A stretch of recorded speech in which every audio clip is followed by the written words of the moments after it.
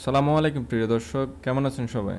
আজকে এই table top wash বেসিনটি এখানে ইনস্টলেশন বা ফিটিং করব এবং কারও সাহায্য ছাড়া একা কীভাবে খুব সহজ পদ্ধতিতে ফিটিং করতে হয় তা দেখাবো ইনশাল্লাহ তাই না টেনে পুরো ভিডিওটি দেখার অনুরোধ রইল। এখানে কিছু কাজের ভুল আছে, সেই বিষয়ে আমার বিগত এক্সপিরিয়েন্স থেকে কিছু মতামত শেয়ার করব।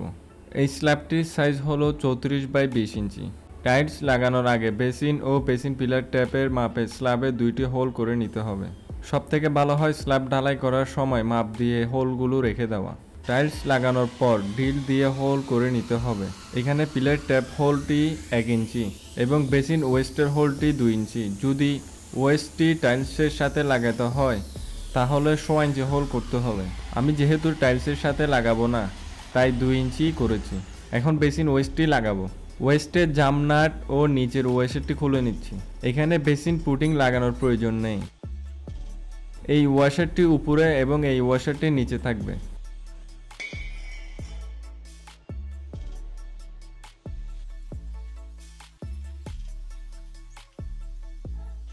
পাইপ রেঞ্জ দিয়ে হালকা করে টাইট করে নিব। নিয়মিত ভিডিও পেতে আমাদের চ্যানেলটি সাবস্ক্রাইব করে বেল আইকনটি প্রেস করুন। এখন বেসিনটি স্ল্যাবের উপরে বসিয়ে দিচ্ছি।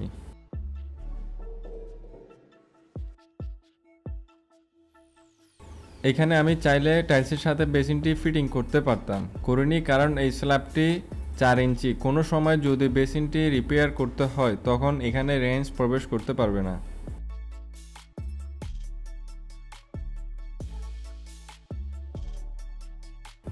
এখন বেসিন পিলার ট্যাপটি টাইলসের সাথে লাগাচ্ছি।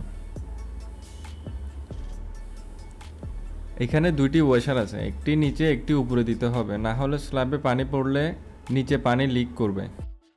নিচে এক হাত ও উপরে এক হাত দিয়ে পিলার ট্যাপটি টাইট করে নিব। টাইট দেওয়া হয়েছে, নিচ থেকে দেখতে এরকম।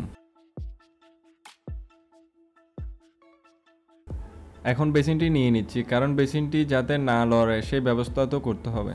বেসিনটি যে বরাবর বসবে, সেখানে টাইলসের পুডিং দিয়ে নিচ্ছি।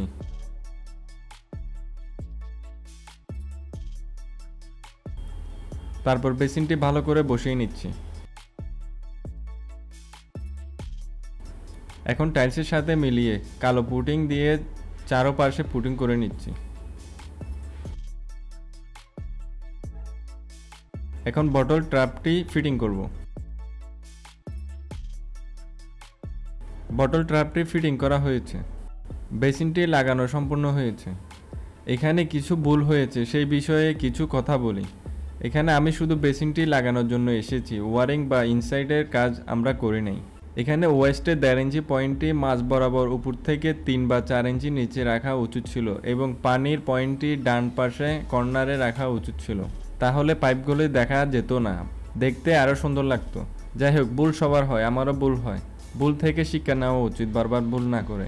এতক্ষণ সাথে থাকার জন্য অসংখ্য ধন্যবাদ। একটি লাইক দিয়ে ভিডিওটি কেমন লেগেছে কমেন্ট করে জানাবেন। আর নিয়মিত ভিডিও পেতে আমাদের চ্যানেলটি সাবস্ক্রাইব করে পাশে আসা বেল আইকনটি অল করে দিবেন। আবারও দেখা হচ্ছে নতুন কোনো ভিডিও নিয়ে। সেই পর্যন্ত সবাই ভালো থাকবেন, সুস্থ থাকবেন। আসসালামু আলাইকুম।